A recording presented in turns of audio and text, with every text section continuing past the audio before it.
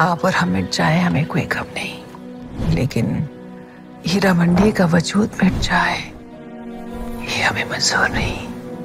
हमें देखनी है आज़ादी, हर हाल में हमें देखनी है, हमें देखनी है आज़ादी।